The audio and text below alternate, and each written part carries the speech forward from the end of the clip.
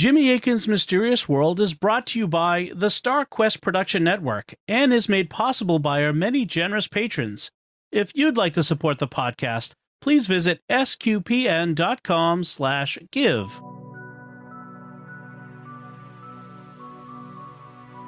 You're listening to episode 287 of Jimmy Akin's Mysterious World, where we look at mysteries from the twin perspectives of faith and reason. I'm Dom Bettinelli, and I'm joined today by Jimmy Akin. Hey, Jimmy. Howdy, Dom. I'm joined today by you. and this is an episode that we recorded a few months ago to thank our patrons at patreon.com slash starquest for their generosity in making this and all our shows at starquest possible we gave them early exclusive access but now we're sharing it with you to show you one of the benefits of being a patron uh, jimmy what are we going to be talking about today we're going to be talking about did jesus suffer more than a normal human could endure uh, does God let demons to protect us for his, God's purposes? Did Adam have a wife named Lilith? Would intelligent apes, like from the Planet of the Apes, or would the Teenage Mutant Ninja Turtles go to heaven? What do out of body experiences tell us about the soul? What was the Tower of Babel? Was there an original world language? Who was St. Paul's in time man of lawlessness? What have I, Jimmy, learned from Mysterious World? What was Veronica's Veil? And things like that. Excellent. So, folks, please enjoy the show. So, our first question comes from Colleen, who asks I remember hearing as a kid that during Jesus' passion, he suffered enough to kill a man seven times over. Did Jesus suffer more than a hu- normal human could endure? Well, this is a pious claim that you sometimes hear. I've encountered it myself. However, we don't have good evidence for it, and I would be personally be skeptical of it. The reason is Jesus, or one of the reasons is Jesus assumed a fully human nature. He did not assume a superhuman nature.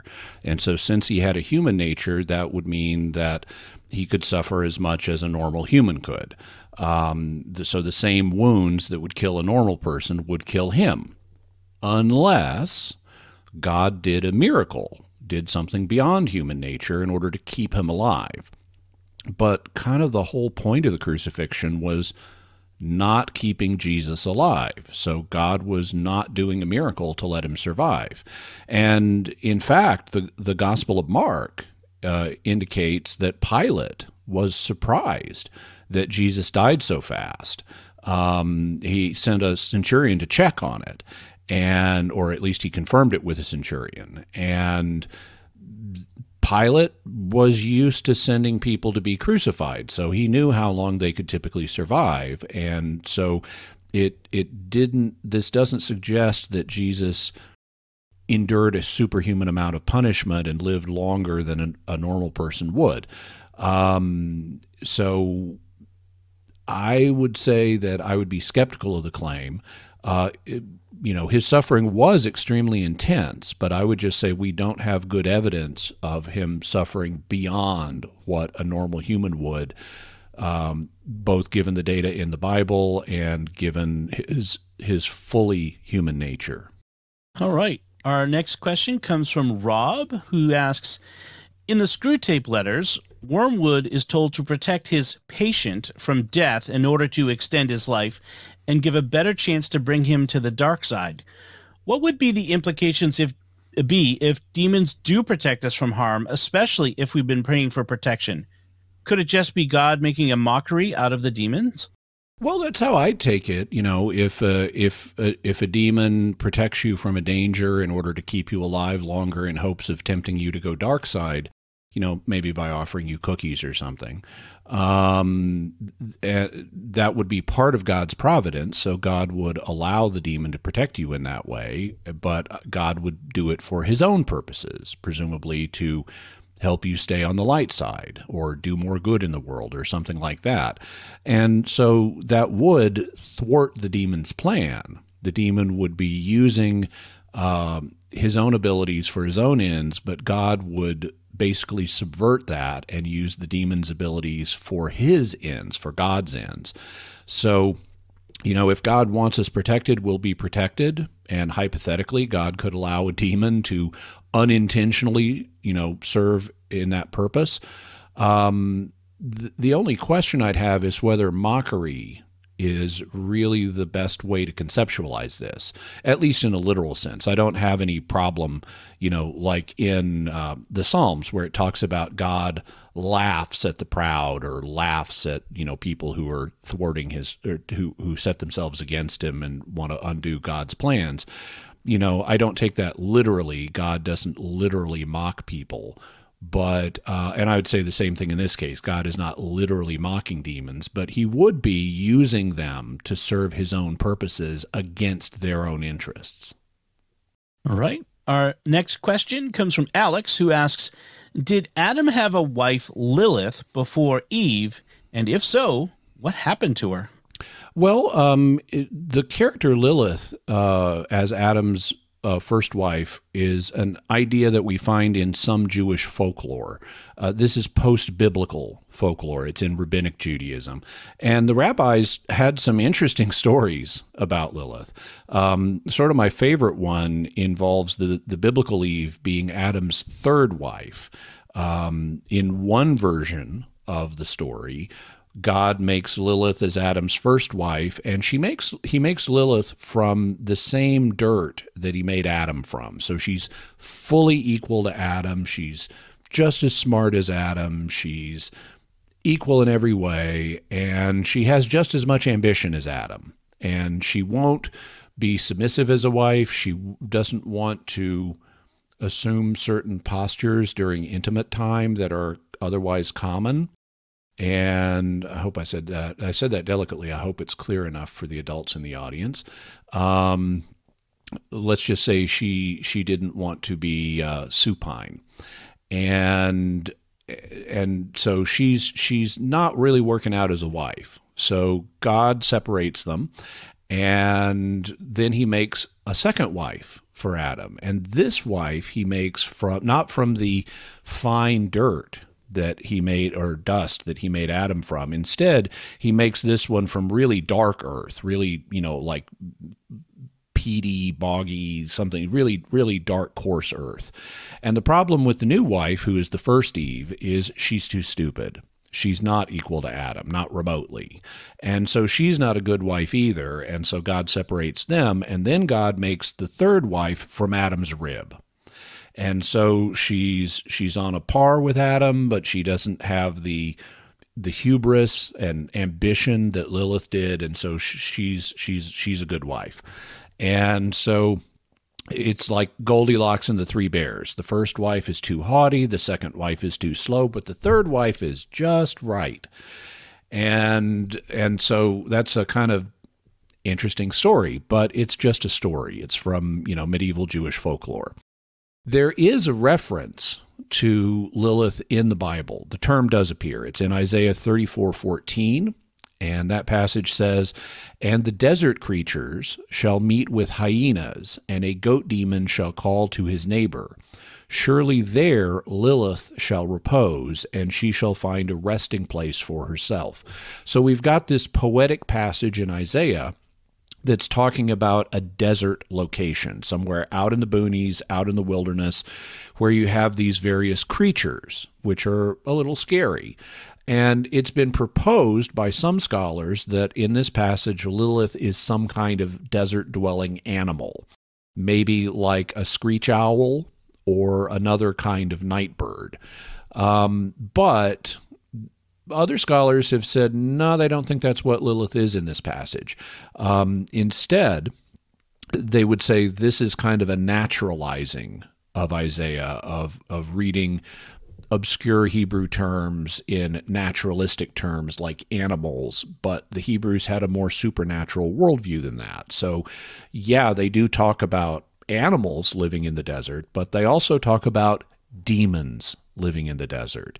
And that's what other scholars think Lilith refers to in this passage not an animal, not a wife of Adam, but instead a kind of harmful demon, and specifically a demon from uh, the ancient Near East in Assyrian mythology named Lilitu.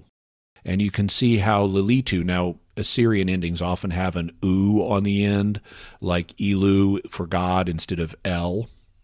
Um, and so if you take Lilitu and whack off the U, you get Lilit, which would then, in some pronunciations of Hebrew, become Lilith. And so it's thought that perhaps the reference here is to a demoness, because it does use feminine um, word endings and pronouns for Lilith in uh, in Hebrew. So uh, so that seems to be probably the best bet uh, to my mind. I don't have firm opinions on this, but I would guess that the biblical refer- reference to Lilith is probably to a demonic figure. Then Ryan asks, Jimmy, you've talked about the religious implications of alien life. What about the implications of a Planet of the Apes or Ninja Turtles situation? Assuming animal souls don't go to heaven, would the rational souls of the intelligent apes and turtles go to heaven? Would their human level intelligence mean they are made in the image and likeness of God? Also, when are you planning to do an episode on the T Rex? Okay, so um, the first thing to say is you've said assuming that a rational soul is needed to to survive death, and I, we can make that assumption. Um, personally, I'm very skeptical of that. As I talked about in episode 203 on Animal Afterlife, which you can get to by going to mysterious.fm slash 203, I actually am not convinced by the arguments that say you need a rational soul in order to survive death. And I think we actually have some surprising experiential evidence that some, at least some animals do survive death. So I don't really buy that assumption, but we can go with it. So let's suppose that you need a rational soul to survive death, and you've got a Planet of the Apes or a Ninja Turtle situation. What would happen when they die? Well, uh, since they have rational souls, they would survive death. But would that mean they go to heaven? Not necessarily, because just because you survive death doesn't mean you have a vocation to be with God in heaven. That's something that God offered to our race. So he gave us a vocation or calling to be with him in heaven. Um, in the afterlife, you know, and even after the resurrection, we're going to be spiritually united with him, which is the essence of what heaven is. But God didn't have to do that. Theologians down through the ages have talked about how this is a gift that God gave our race. He didn't have to do it. Um, even assuming He let us survive death, or even if He let us be immortal, uh, he could he could he didn't have to call us to be with him. He could leave us in paradise on earth, for example. And so and similarly, you could be in a happy state in the afterlife, you know, assuming you weren't a sinner and you received, or you were and received God's grace. Uh, the apes or the Ninja Turtles could could be in a paradisical environment in the afterlife, but still not have the supernatural calling to be with God in heaven. So it would really depend on what God chose to do with them. Now, um, we have a we have two test cases here. We've got the angels who they have a vocation to be with God, and they're they they have ration, they're rational spirits, and we have humans, and we have a vocation to be with God, and we have rational spirits. So you could argue, based on those two sample cases, that the same thing would be true of intelligent apes or intelligent turtles. Um, you can argue that, and if I had to bet I would bet that they would have a vocation to be with God in heaven. But we got to be a little careful here because we've only got a sample size of two. And um, n equals two makes for a a study that doesn't have very high confidence levels because there could be lots of other races that God maybe lets survive death but doesn't call to be with him, and we just don't know about them. So I'd say if I had to bet, I would bet that such creatures would have a heavenly vocation, but I'm cautious about that because we only have a sample size of two and God hasn't told us the answer. When it comes to um, them having the image of God, it's going to depend on what your theory of the image of God is. Historically, there have been a lot of thinkers who have tried to link the image of God to a specific attribute that humans have, like intelligence, for example, or you know some other attribute that we have but th- the current scholarship is skeptical of that and current theology is also skeptical of that. Instead, if I can articulate it in a somewhat simple way, it seems that according to the best current research and thought, what the image of God is, is not a specific attribute like intelligence or spirituality or anything like that. Instead, it's the capacity to represent God. And so, you know, like an image of a king represents the king. And so the image of God represents God. And that's that's why in Genesis mankind is made in God's image and then told to rule creation on his behalf. We are God's steward to rule his creation and we represent him to the creation. So like if you have uh, a king and he he gives orders and whoever implements those orders is acting on behalf of the king and in some way representing the king just like an image represents a king. A statue of a king represents the king.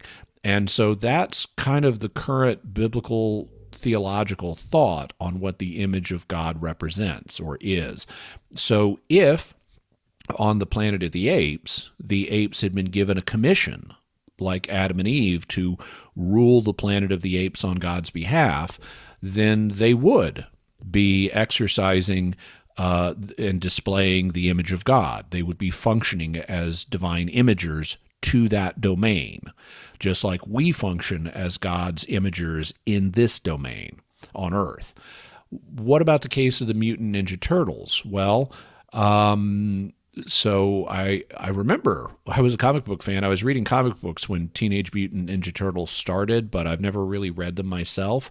But my understanding is that their adventures take place on Earth, and Earth already has an intelligent race that does image God, namely us, human beings.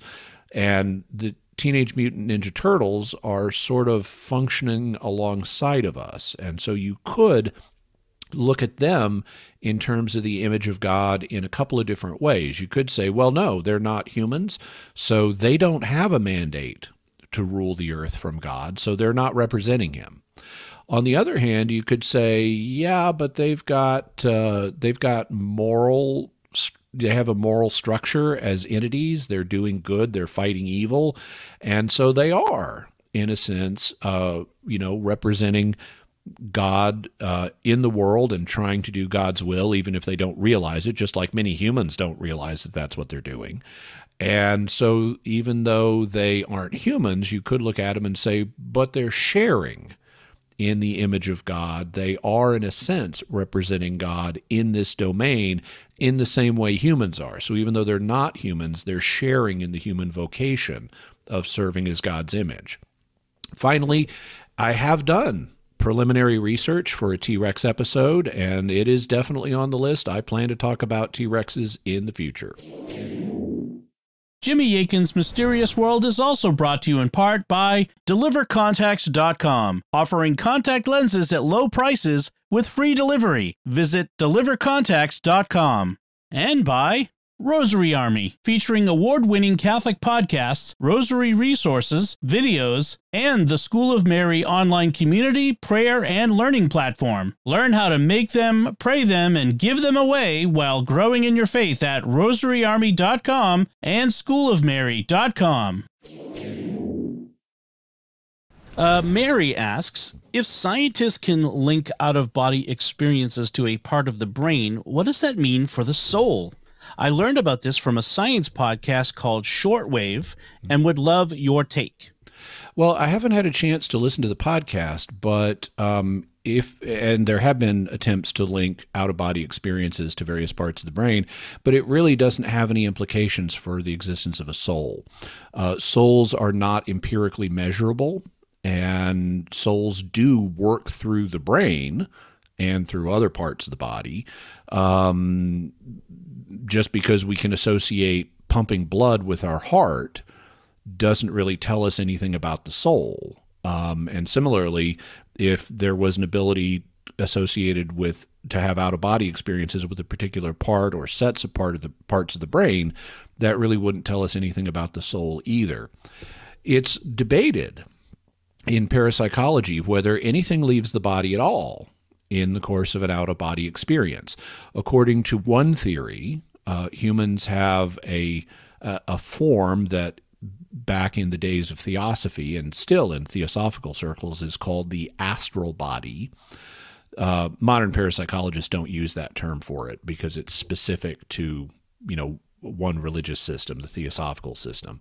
Um, and the idea is this this astral form or body or something leaves the human body and goes elsewhere and has experiences, but is still linked to the body.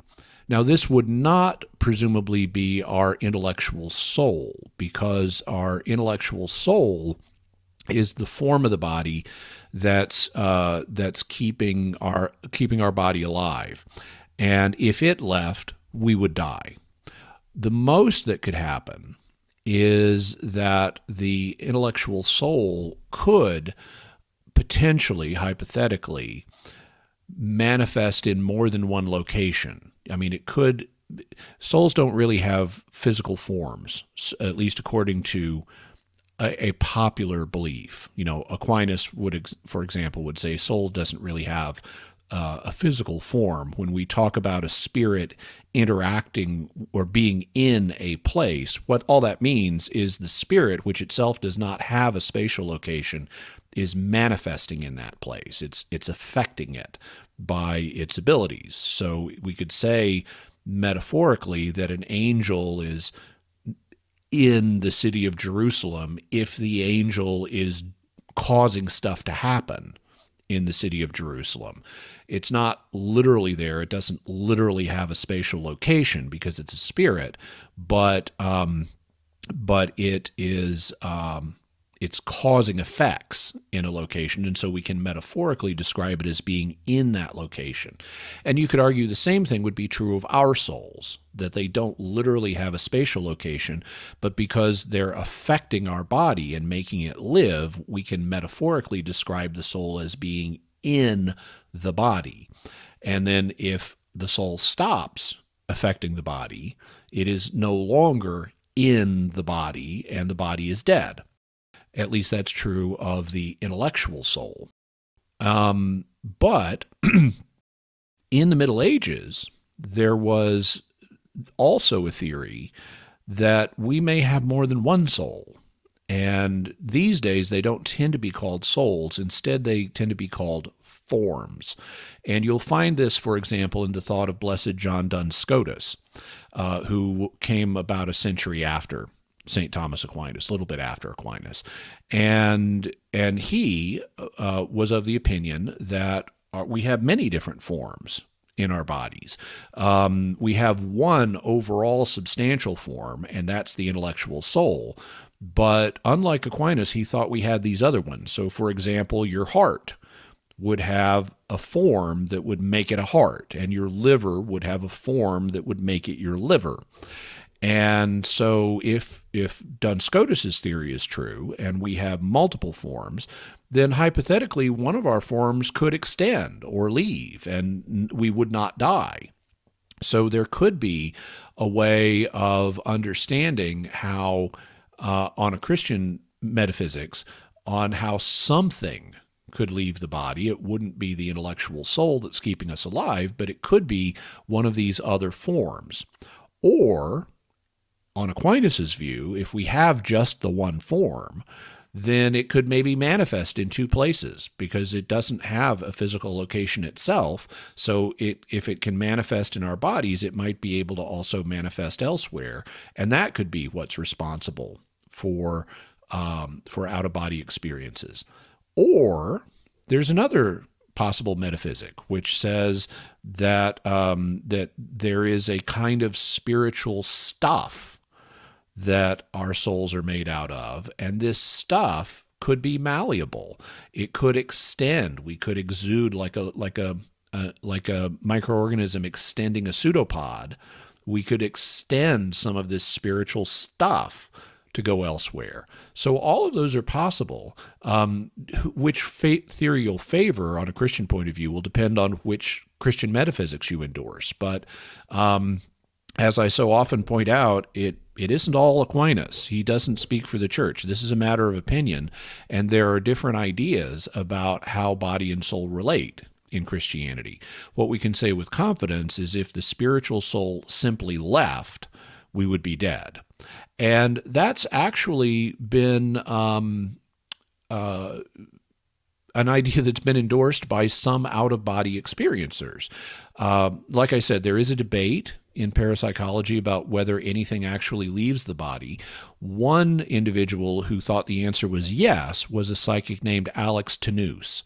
And Alex Tanous uh, was proficient at having out of body experiences. They did laboratory tests on him, so they'd they'd get him in a room and they'd isolate him and they'd have a test object in a distant room that he couldn't see and they'd say okay now we want you to leave your body and go to the room down the hall and tell us what you see.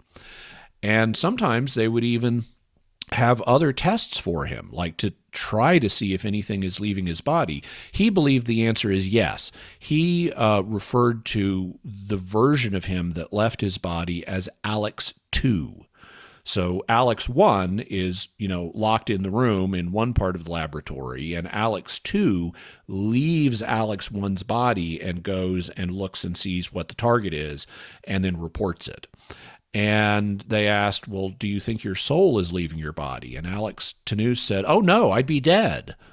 So, you know, this this idea that there's something leaving but it's not the soul has some traction, and that that's what Alex Tanous reported his experience was. But not everybody agrees with that. Um, it's possible that I, I, I, actually I wanted to mention some. Sometimes they would set a test for Alex, where they would put like an object on a strain gauge, and they would in the in the distant room, and they would say, "Okay, Alex, we want you." When you get to the other room, when Alex 2 gets to the other room, we want him to pull on the strain gauge. And and that'll signify that this is more than just you're mentally perceiving it because you're actually having a physical effect. If you pull on the object that's attached to the strain gauge then we can see the strain gauge moving and that'll tell us there's a physical effect going on here which could support the idea that something is actually leaving your body. The problem is that can be interpreted other ways because psychokinesis is an ability that you know where it's reported you can move a distant object without actually touching it. So it's possible that instead of actually leaving having something leave his body what alex tanous was doing was just mentally perceiving a distant room and psychokinetically affecting the object attached to the strain gauge so it doesn't prove that something was really leaving his body. And that would be a view that would be endorsed by other out of body experiencers. For example, um, I know a, a British out of body experiencer named uh, Graham Nicholls. I took a class from him, and uh, I don't have out of body experiences myself, but I took his class just to learn about him. And he uh, is proficient with out of body experiences. I, I, I'm hoping to interview him in the future on the show because some of his are very interesting. But he doesn't think anything leaves his body.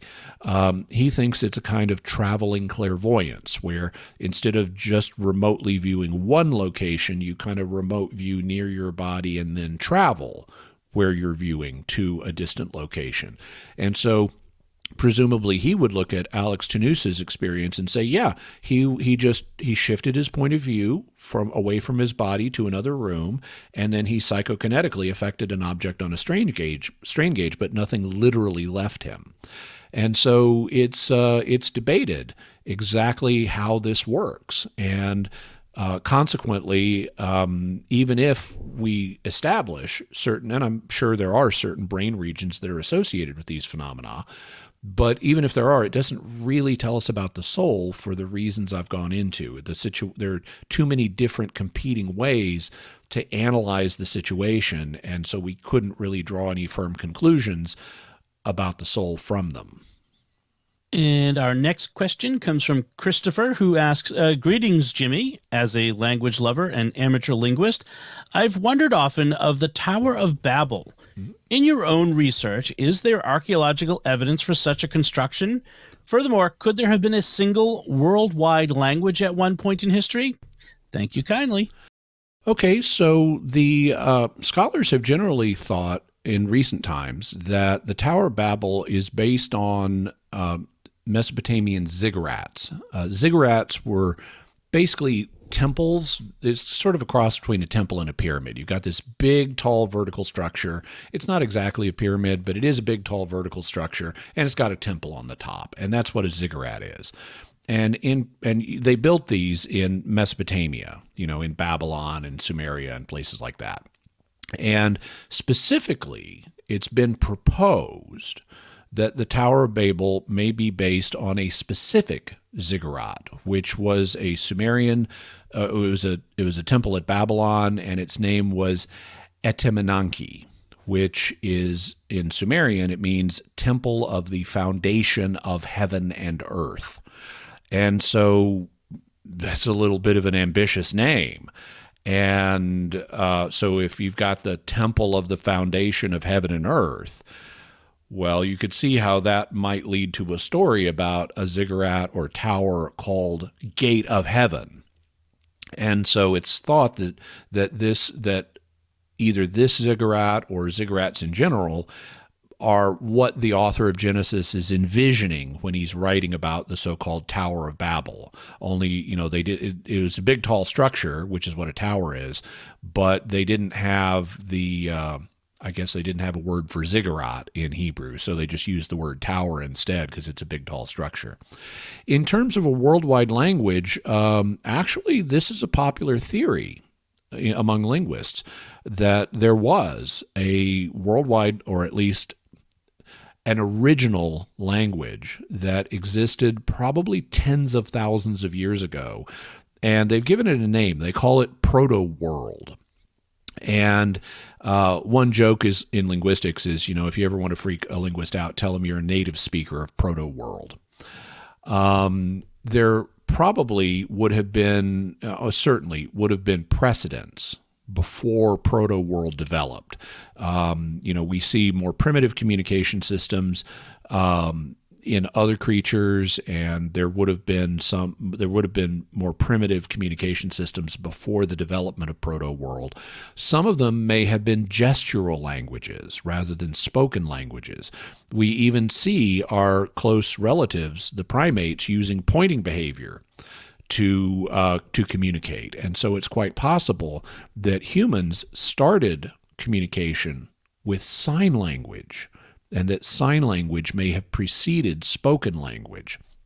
Um, but at some point, uh, and then also there would have been more primitive spoken languages, you know, where you use sounds to communicate. But at some point, you got something that basically approximated a a a modern language in terms of its expressive power, where you could express the same kinds of thoughts that we can express today in this first language that developed. And that's what proto world would have been. Now, not everybody in the population would have spoken proto world, but proto world would have been the first truly modern language, which then, because of its how useful it is, it it would have rapidly spread throughout the human community because um, it, made things so much easier. I, I, remember reading one book on linguistics where the author was, uh, I forget who she was, but the author was talking about what heady days it must have been when the first human community got a fully modern language. I mean, they could communicate, they could tell each other things at a, even at a distance that they needed to know, so they could outcompete other humans and impose their will on them and and and get what they wanted you know? You can imagine how it would be easier coordinating a battle or an attack plan or something if you've got language and your opponent doesn't. So um so needless to say uh, imitation is the sincerest form of flattery. And if you're in the people who don't have the modern language and you're getting your butts kicked by the people who do, you're going to learn their language really fast because you don't want to be at a perpetual disadvantage. So proto world would have spread spread very rapidly through the human community, which at this time would have in all would would have been in all likelihood confined to Africa. Um, can we figure out very much about this language? Well, a lot of linguists are skeptical. They think proto world existed so long ago that there's really nothing we can infer about it other than maybe some general characteristics that all languages have in common.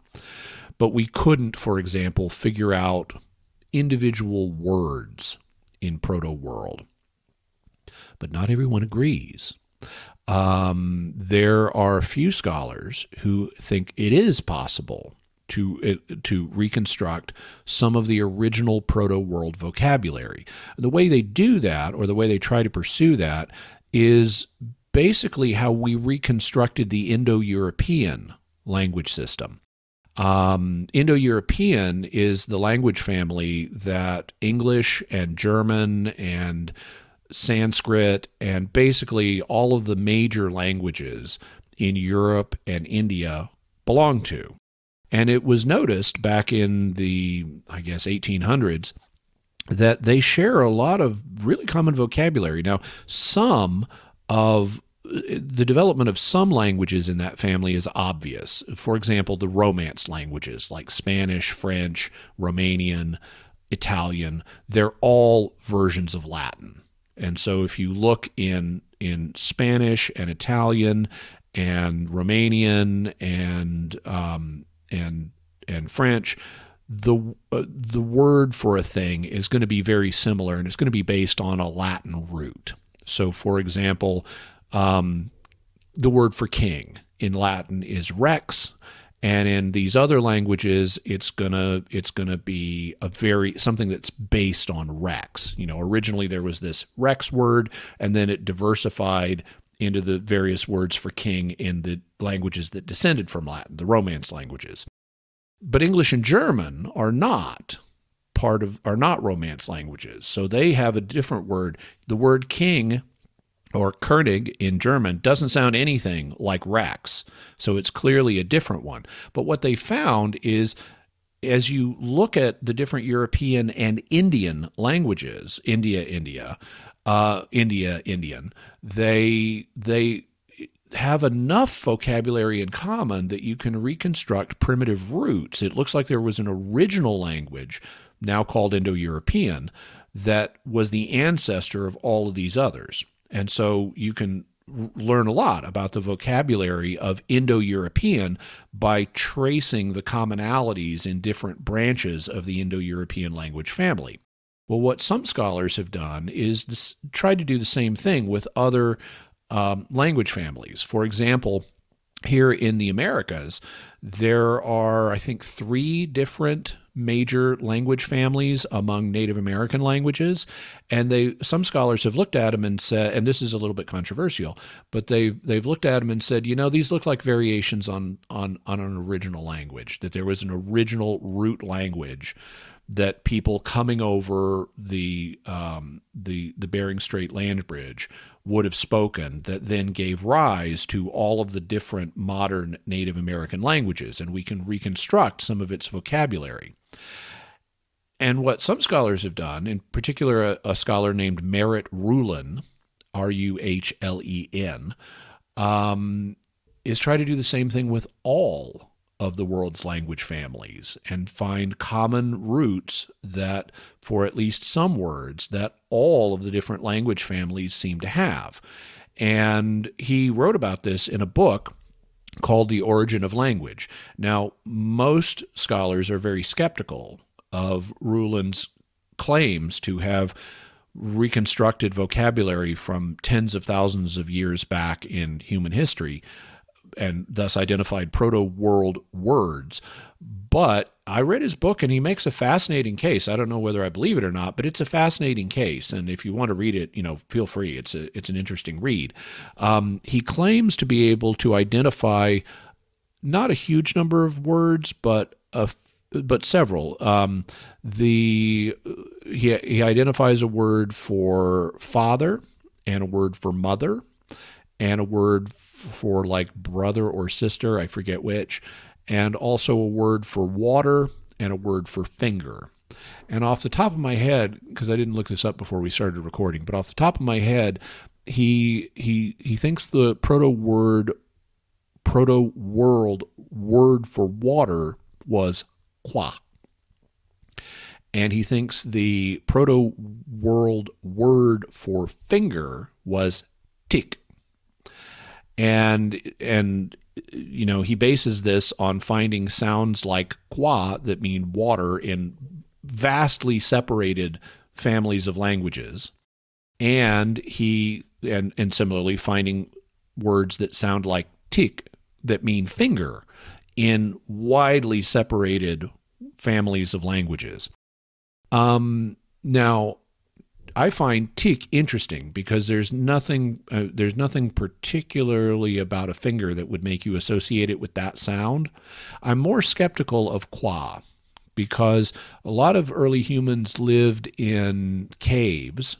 You know, we found their art, and um, and water in caves drips, and the sound of dripping water could be could be interpreted in human speech as qua qua qua qua qua you know as you can imagine that dripping water sound. And so it could be that the reason qua like aqua or agua appears in different languages is it's an automatopoeia a, a sound-alike word based on a natural phenomenon. On the other hand that doesn't disprove qua as the proto-world um, word for water because it could have been automatopoeia that let the proto world speakers give it its name. So I think it's very interesting, but um, it's it's highly controversial in scholarship, and not many scholars think it's actually possible to reconstruct proto world words. Our next question comes from Alex, who asks Did Mary of Agreda really bilocate from Spain to New Mexico, or is that just a legend? Well, I've encountered the claim, but I haven't researched it thoroughly yet. Um, you know, the claim is that St. Mary of Agreda appeared to Native Americans and she was wearing blue and became known as the Lady in Blue. And she did a kind of evangelization that led the Native Americans to be ready for evangelization by missionaries when the missionaries got there and um, and I'm familiar with the claims. Uh, I plan to research it. I have not researched it yet, but I do plan to research it, and I'll be very interested to see what I find. It would be very interesting if I'm able to confirm that this that we have good evidence that this actually happened. Our next question comes from John, who says, "Hi, Jimmy and Dom. In Second Thessalonians two three to ten." Is St. Paul referring to a contemporary figure, such as a Roman leader, or is he referring to a future figure, or maybe both? When he mentions Jesus slaying him with his breath, it seems to point to a future person, but the context also seems to suggest a figure of Paul's time. Please enlighten us. Yeah, so I'll let people go read uh, Second Thessalonians two for themselves if they like. I won't read the whole thing here, um, but it does refer to an individual, a man of lawlessness that is going to be unleashed at some point in the future, from Paul's perspective, and that Jesus will uh, slay with the breath of his mouth at his coming. He also says this figure will uh, seat himself in the temple of God and and portray himself as a god. Um, now, I had to work through this in some detail a few years ago. Um, I have a long term project I'd like to complete, although Mysterious World kind of takes up a lot of writing time. Um, but I'd like to write a commentary on the entire New Testament. And as part of that, I have already written a Gospel on Mark, which I've published at, with Logos Bible Software. And I also have completed but not published a, a commentary on First and Second Thessalonians, which appear to be the earliest of Paul's epistles. The only competitor for that title would be Galatians, but it appears to be First and Thess- Second Thessalonians. They were written about the year AD 50 and only a few months apart, or even weeks apart. Um, in them, St. Paul is clearing up some confusion that the Thessalonians had beca- about the end of the world because he hadn't been able to stay with them very long. If you read the book of Acts, you find out that he was only in Thessalonica for a very brief time, I think like three weeks, if memory serves. And then he was driven out of the town by a riot and had to escape. And so he only had a brief time to give the Thessalonians an education in the Christian faith, and consequently, um, they they they had a lot of confusion after he they were deprived of him, and they it seems that one of the ideas that some of them had may have been that if you're not alive at the time of the second coming, you're not going to get into the kingdom. And that caused a problem because some of them had died, you know, and they had loved ones who had died. And it's like, are they not going to get in the kingdom because they're not going to be alive when Jesus comes back? And Paul writes him and he says, this is in First Thessalonians. He says, guys, don't worry about it um, the dead are actually going to rise first, and then we'll all get to be with Jesus. So don't worry about that. And he gave them other information about the end times, and then they didn't understand that. And and so they so in Second Thessalonians he has another bite at the apple and tries to or another swing at the pinata and tries to clarify things further. And so he starts talking about the the day of the Lord is not going to come because some of them had the idea the day of Lord, the Lord has already come and we somehow missed it. Um, he says it's not going to come until this rebellion comes first, and there's this leader who's just going to be slain by Jesus at the at the second coming, and so forth. Well, so what we can say with confidence is clearly the leader that Jesus slays is a future figure. However, there are elements of the of the letter that make it sound like this is near term. For example, he's going to sit in the temple of God, which to a first century Jew means the one in Jerusalem. And yet, Jesus didn't come back by the time the temple in Jerusalem was destroyed in AD 70. Well, one thing that's interesting to note is there has already been a near miss um, with something like this, because back in AD 40 and 41, the Roman Emperor Caligula demanded that statues of him, of Caligula, get set up in various temples, like in Alexandria, Egypt, for example. And he even mandated that they, and Caligula demanded to be worshiped as a god. He said he was even greater than Zeus and things like that and um, he demanded that a statue of him be put up in the temple in Jerusalem. And this caused a huge problem. It was this massive crisis. Um, the Jews of Alexandria uh, sent an embassy to Caligula to try to stop him, to convince him to not do this. It was led by uh, by Philo of of Alexandria, the Jewish philosopher, was one of the people in the embassy and we actually have his account of his and his fellow elders' interactions with Caligula, which makes for fascinating reading. Um, needless to say, they didn't convince him. But uh, what ultimately, and I won't go through the history of the whole crisis, but the um, the thing that finally solved the crisis was Caligula's own guard, who got sick of him and realized he was a crazy, dangerous, unstable ruler who needed killing. So they killed him. And that was what ultimately solved the Jerusalem temple problem. And Philo says it was divine providence. You know, God was behind this because of Caligula's blasphemous arrogance. Um, well, so we've just seen now, this is AD 41 when this is happening, and Paul's writing in AD 50. So, in the mind of Paul and his readers, are is this incident from nine years earlier, where a Roman emperor tried to put a statue of himself as a god in the Jerusalem temple, and he ended up dying. And what Paul is envisioning is well, something like that's going to happen again in the future.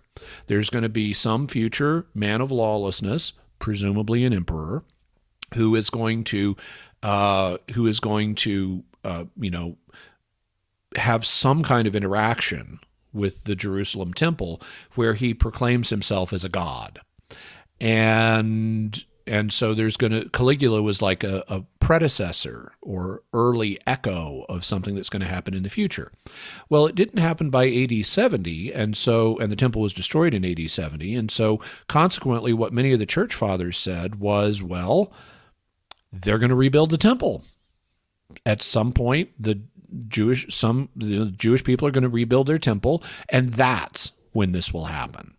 And indeed, there there are people in the Jewish community who want to rebuild the temple, and there have been various plans to do it with or without disturbing the Al-Aqsa Mosque and the Dome of the Rock in Jerusalem, which are Muslim sites today. Um, but that's the uh, that's that's I guess the general solution here.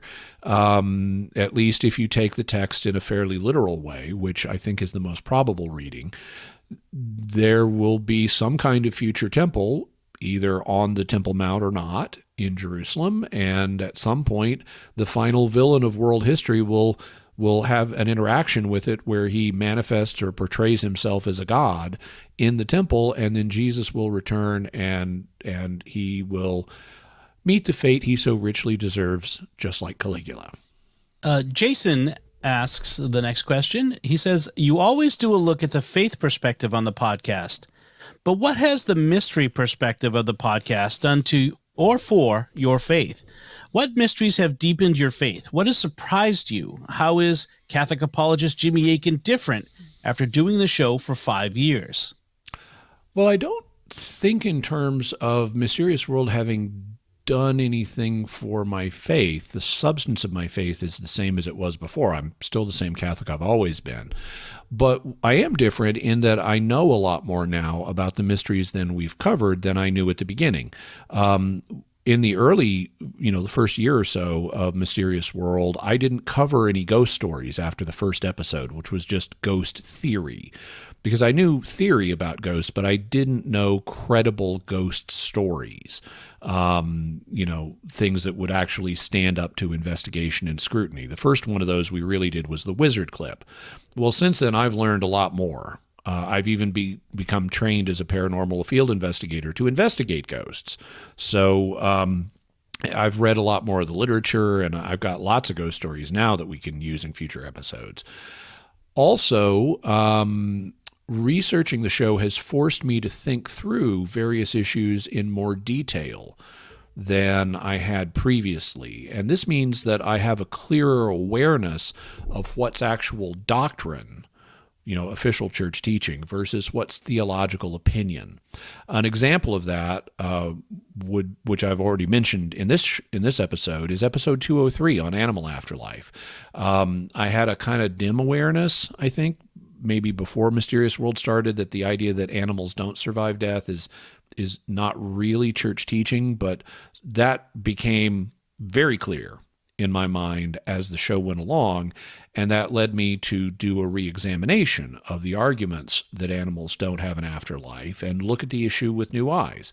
And I had to change my position on that. Um, I used to be a supporter of the no afterlife for animals view, but I'm not anymore.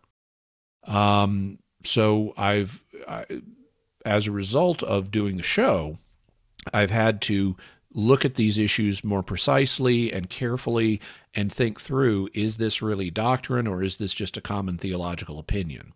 And that's led me to be more flexible because I've realized what is not doctrine and is just theological opinion. And therefore, it's like, okay, I don't have to, uh, there's liberty either for me or for other Catholics on this issue. Regardless of what my views are, this topic, topic X, just is not something that the church teaches. And therefore, even if there's a common Catholic opinion on it, it's just an opinion.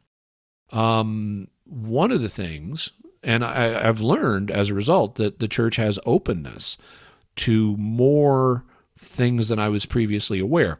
One that surprised me when I did the research on it was dowsing. I had no clue before I did the research that you had popes like Pius XI who were actual supporters of dowsing. And I had no idea that you had a statement from the Holy Office, now the Dicastery for the Doctrine of the Faith, that permitted priests, even, not just lay people, but even priests are explicitly permitted to perform dowsing for purposes of scientific experiments. So, you know, that was eye opening to me. Another one that is going to be coming up, depending on when you listen to this, it either will or will not have been released. But we have an episode coming up on um, on announcing dreams, which are dreams that parents have about their future child. Often they have them while they're pregnant with the child, and the child will say, Hi, this is me. I'm your new child, and I'm a girl, or I'm a boy, or they get to see their child and what color hair it has, and various other things about the child, some of which then may turn out to be true. And sometimes they have announcing dreams before the child is even conceived. So that forced me to dig back into the church documents dealing with the preexistence of the soul. Now, I'd always read that the church rejects the preexistence of the soul, the idea that souls exist before conception. And so I've always held that the soul comes into existence at the moment of conception. But when I actually went back and looked at the documents, I was surprised because um, there are only two councils that I could find that deal with the subject, and both of them occurred early in church history, and both of them were local councils, which means that they couldn't issue an infallible teaching and they couldn't teach on behalf of the whole church. So you had local rejection of some versions of preexistence of the soul. And that was the even more important discovery. It's only some versions of preexistence that were rejected. So even if you say these the teaching of these councils should be binding for everyone, which it really shouldn't according to the rules, but even if you said it is, um, they only rejected the, a version of preexistence where the reason we're incarnate is because we sinned in the preexistence. So these councils didn't condemn preexistence. They condemned the idea that we are that we assumed physical form because we sinned in a preexistence. But if you said, well, the soul exists before conception, and uh, and it got incarnate because that's God's will for it, not because it sinned, that would not be condemned by those councils. So I was surprised to learn that. Um, now, like I said, I've always still said, and I still favor the idea that the soul comes into existence at the moment of conception.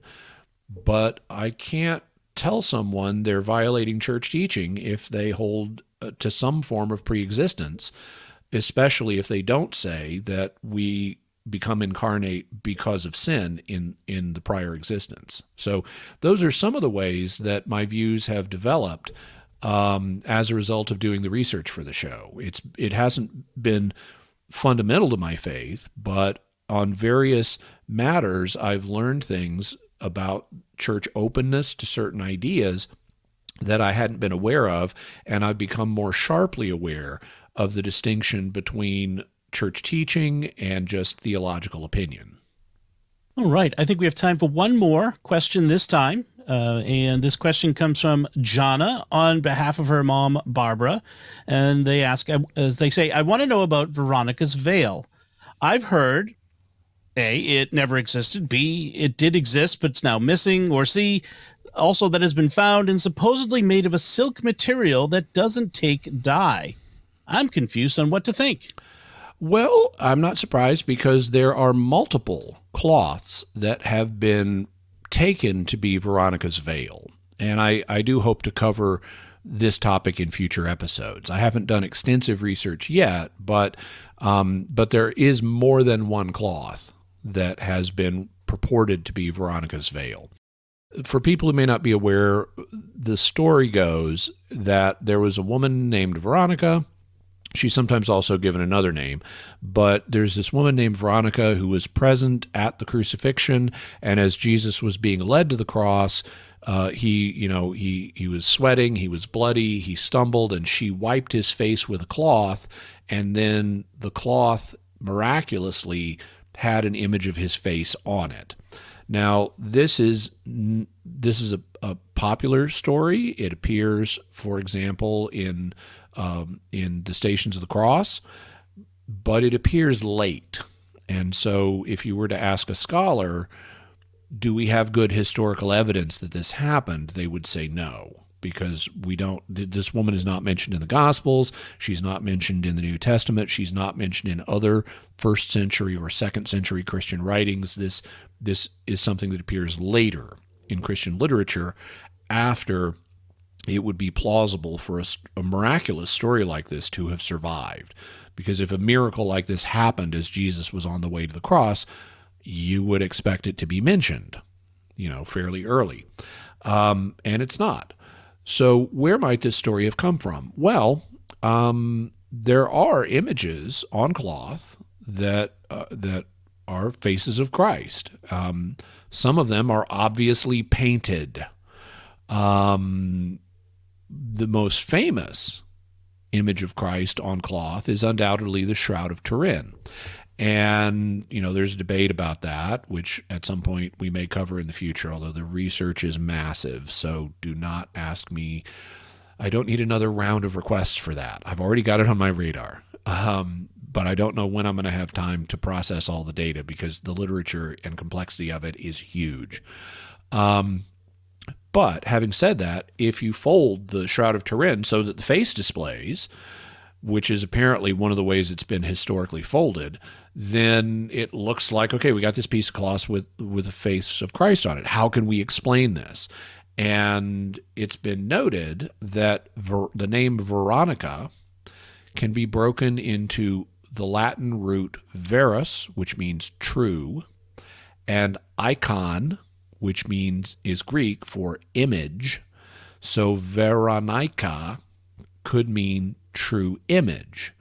And so you could say, well, here we've got this piece cloth with the face Christ on it. This is Christ's true image. This is Veronica's veil.